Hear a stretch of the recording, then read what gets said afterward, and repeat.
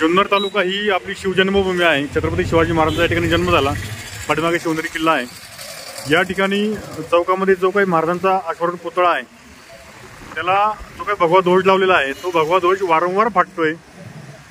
खरं तर महाराष्ट्रभरातून पर्यटक या ठिकाणी येतात. एक चुकीचा संदेश त्या ठिकाणी जातोय. कायमस्वरूपी व्यवस्था होणं गरजेचं आहे. आपण काय म्हणतो आहे? जय श्रीराम.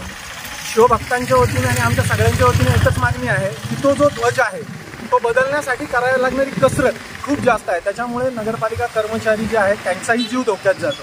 तर आमचं म्हणणं एक आहे की मध्ये खासदार डॉक्टर अमोल कोल्हे यांनी शिवनेरीवर भगवा असावा यासाठी भगवा आंदोलनाची सुरुवात केली होती. माझी त्यांना एक विनंती आहे की ते ज्या वेळेस शक्य होईल की तो सार्थ अभिमान आम्ही तुमच्या बरोबर आहोत त्याचाही सार्थ अभिमान आहे. पण त्या अगोदर या पाच रस्त्याच्या ठिकाणी इथे आपण शेजारी जी जागा आहे त्यावर जसे हे आपण लाईटीचे पोल पाहताय की जे उंच आणि मोठे आहेत त्याच पद्धतीने एक दोनशे फुटी मोठा ध्वज तिथे उभा राहावा आणि तिथे एक भगवा मानाने फडफडावा अशी आमची सगळ्या शिवभक्तांची मागणी आहे.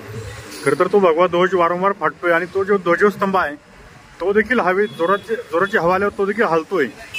खरं तर ज्या ठिकाणी इतक्या उंचावर ध्वज जर ध्वजस्तंभ असेल तर तो मजबूत हवा आणि ब- जो भगवा ध्वज आहे तो देखील तितक्या मोठ्या स्वरूपात असावा अशी शिवभक्तांची मागणी आहे. नक्कीच.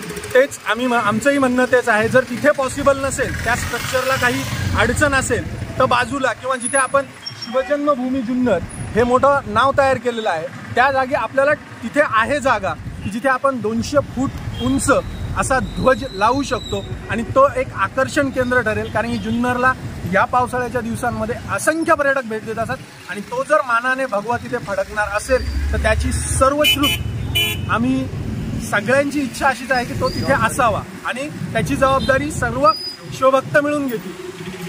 बाळासाहेब आपण या बाबतीत काहीतरी पत्रव्यवहार केल्याचं देखील समजतंय. नेमकी काय आहे ते? मी अठ्ठावीस सहा दोन हजार तेवीसला नगरपालिकेला पत्रव्यवहार केलेला होता मुख्य अधिकाऱ्यांच्या नावाने की सदर हा उंच स्मारक असल्यामुळे इथे जो ध्वज आहे तो वारंवार फाटतो.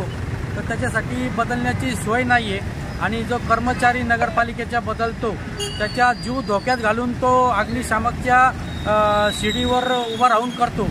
उद्या जर त्याचे काही जीवात धोका झाला तर त्याला जबाबदार कोण राहणार? असा मी अठ्ठावीस सहा दोन हजार तेवीसलाच पत्रव्यवहार केलेला आहे. ते अद्याप त्याच्यावर मला एकही काही त्यांनी उत्तर दिले नाही आणि तो ध्वज पण बदललेला नाही. या संदर्भात आपण पुन्हा नगराध्यक्ष मुख्याधिकाऱ्यांशी काय बोललेत का? वारंवार मी बोलत असतो त्यांच्या व्हॉट्सअपला मी पाठवत असतो. ते म्हटले की ते करणार आहेत.